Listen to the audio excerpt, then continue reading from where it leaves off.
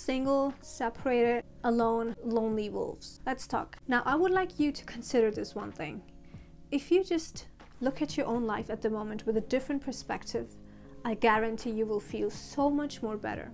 You see all around people around you, you know, there's this hustle culture, there's a struggle, and it makes you all think a certain way in a similar way. You know, that you're supposed to do nine to five, you're supposed to do this, you're supposed to have two jobs, and you're supposed to have a family, and you're supposed to have kids by this age, you're supposed to have a boyfriend by this age, you're supposed to have a fiance by this age, and you know, the list goes on. For example, you look at social media, and all you see is people kind of rubbing in your face all of their uh, material possessions as well as their relationships, right? A good chunk of people that watch those things and they feel sad, they despise, they're jealous, they're envious, you know, and it's like they have no hope to have that, and so they look at you in an evil way, evil eyes. And because that hustle and in your face culture is so common, it's actually maybe making you feel way more lonelier than you actually are. Even introverts feel the need sometimes to do this on a certain time, have this on a certain time, but at the same time,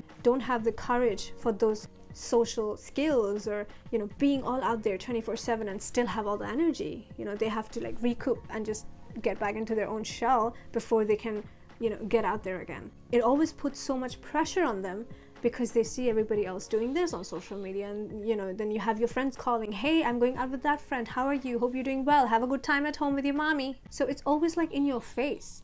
And that is why it makes you feel way more lonelier in this age nowadays today than it used to be ever before. And then so you kind of feel like, ugh, I'm not doing all of that. So maybe I'm lacking something.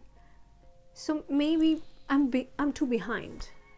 Maybe I have failed, you know, I have failed. Maybe I have disappointed. Maybe I couldn't do as much anymore and I think everybody else is just so much more better than me.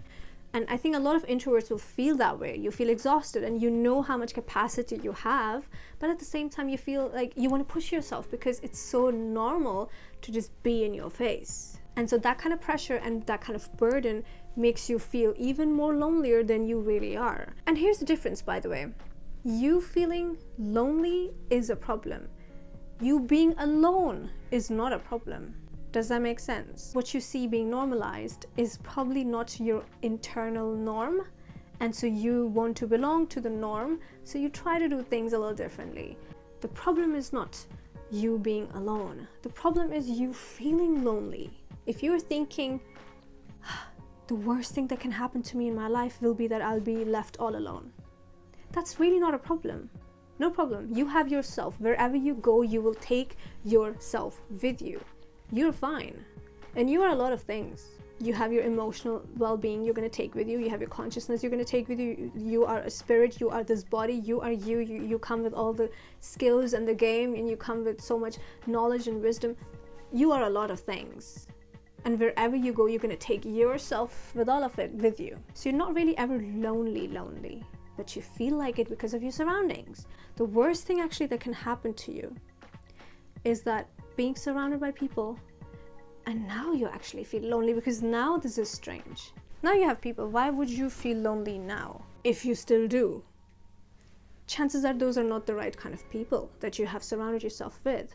And it happens more than we are willing to accept that many people come from dysfunctional families and especially now we live in the we live in the west in the west you see this so much more it's, it's just so common and we see so much dysfunctionality between parent child relationship or sibling relationships and all of that. It's not just within the family it's also the relatives. And then and then uh, because of those childhood traumas and the problems and the abandonment issues and the doll syndrome all of these things combined together now lead you into uh, a relationship with an adult who is also toxic.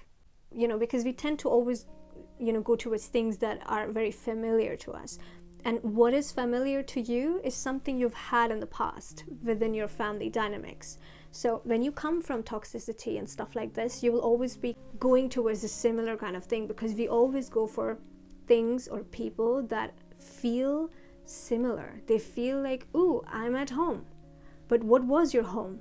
Oops, home was the problem. Home was where you had everybody, everybody was alive, but yet there was no good relationship, but yet there was no father, mother uh, figure in your life. Or maybe if maybe if you come from a family where your parents have passed away, then you may be not very familiar with feeling of having a, a, guide with you or a mother figure, a female, you know, or a male figure in your life. You're probably not aware of those things. What will home feel to you now when you go for a grown ass person?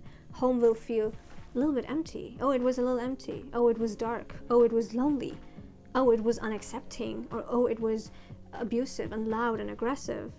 And you will most likely go for the same person when you grow up also because that feels like home because there is so much familiarity here. This is a mistake we often do, especially if you're somebody who comes from uh, dysfunctional families with a lot of toxicity and just twisted dynamics between uh, parent, uh, son, parent, daughter, or even with your siblings, then you better be way more cautious than anybody else to not seek for the feeling of too much familiarity. Again, chances are the familiarity was not healthy in the first place. You don't want that kind of familiarity.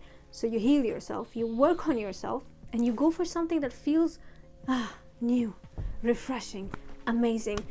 Let's work with this. Let's see where this goes. And coming back to the subject of loneliness, again, if you go for the thing that is familiar, you've dig yourself a bigger hole because now you set yourself up for a lifelong of loneliness. You're gonna keep choosing people that are familiar, familiar, familiar, and yet you're always still feeling lonely, and there's always something you're searching for, but you just never tend to get it because you're always looking for familiarity.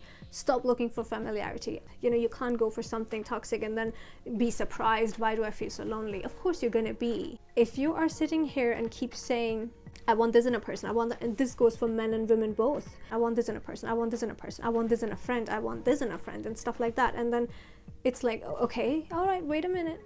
Are you the reciprocal of that? Is that a good match? Does it like fit like a puzzle? Oh, if it doesn't, you got work to do. You have work to do. You can't ask for something you're not even ready for.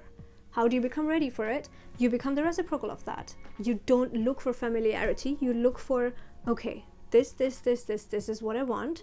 Now let me become the reciprocal of that. And then you do your work on yourself. And that work is not going to get done until and unless you don't completely flush out this feeling and this fear. Oh my god, I'm always to be lonely. No, that has to leave your system.